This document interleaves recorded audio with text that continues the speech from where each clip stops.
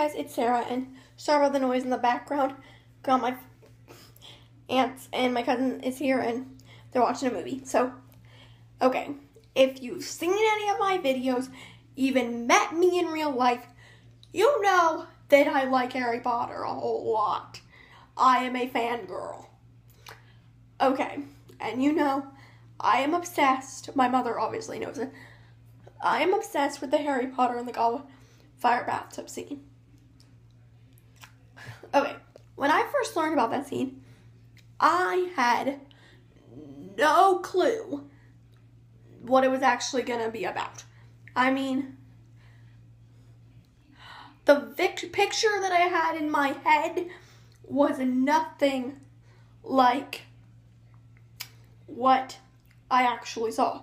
So I was picturing a bathroom, a simple bathroom. that looked kind of like Myrtle's, like you know, regulars, with a bathtub in it, a clawfoot, so pure white that was just about three or four feet off the ground, that he was lying in, covered in bubbles. And Myrtle was like peering over the edge of the, peering like over the edge of corner of a wall at him. And I wasn't expecting to see what I actually saw. And I thought the scene ran like he was like in the hallway with Ron and Hermione and like a bunch of people, and he's like, "Oh, I'll catch up with you later," and then goes in the bathroom and goes. I had no clue. I thought it was just gonna be a throwaway thing. I didn't know it was actually part of the tournament. I didn't know it was a huge plot point. So I'm fiddling with my glasses. So my glasses. So he. So, and then I realized, and then I asked my mom's friend who had told me about, and I was like, okay, Moaning Myrtle haunts the girls' bathroom. How was she watching Harry take a bath if she she was like, Oh, Harry was taking a bath in the girls' bathroom because it had a tub and was like What? So I was really confused. I'm like and then I got home because we were on the car ride to the zoo at that point. So we get home, I get home, I watch the video, and I just I'm like, this isn't what I pictured at all.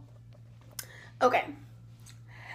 And then I realized what if someone actually was trying to verbally explain this scene to somebody? Like, this is like me. I haven't seen the movie. I hadn't seen the scene at that point, and I had, and I hadn't like had any idea what it was about. So I had this totally different idea from what I actually, what it actually was about. So I am going to try to do my best to explain this scene to like it's like I'm trying to explain it to a muggle, like how I'm going to explain this and see if I can do a good job of verbally explaining.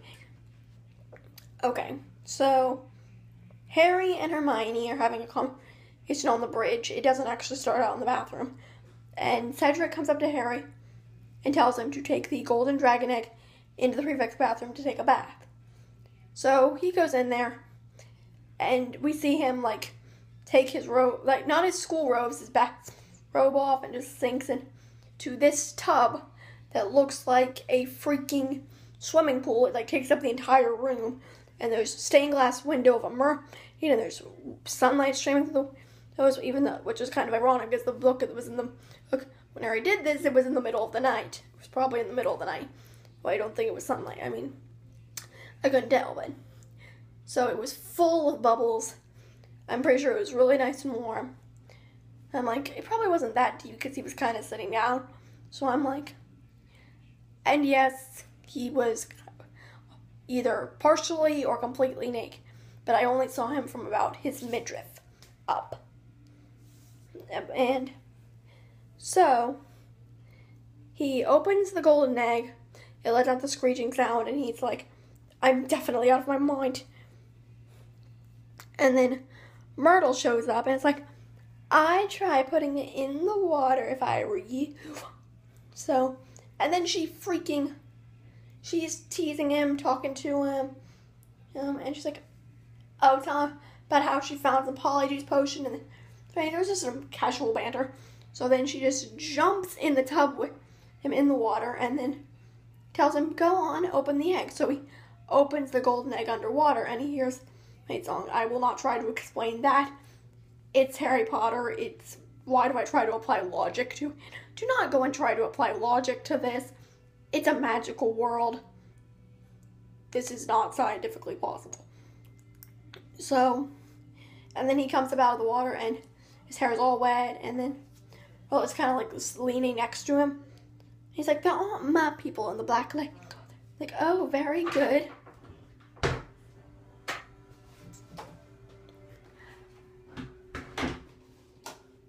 Sorry about that. My mom came in. So, he.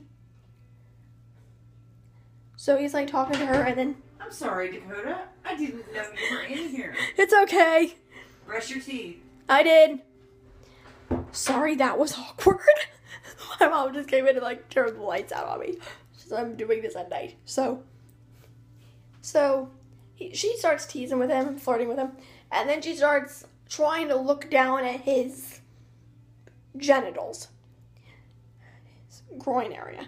I'm using the scientific term for it. So he starts moving the bubbles toward himself, and then, but throughout the entire scene, when she was getting closer to him, he was like gathering up the bubbles to cover his chest, and then she just kind of snuggles against his shoulder, and he's just like, I give up by that point. So that's basically how the thing transpired. It might be incredibly difficult to understand. It might be totally illogical, but this is a movie. This is a series about magic and wizards and all kinds of crazy mythology and stuff. It's not going to be scientifically accurate. So don't go trying to apply logic to this. Even though I like to try to apply logic to it and say how oh there's no way in hey in the world that this is possible. That this is possible. So yeah, that's me basically trying to explain the Goblet of Fire bathtub scene to someone who has never seen it. Bye.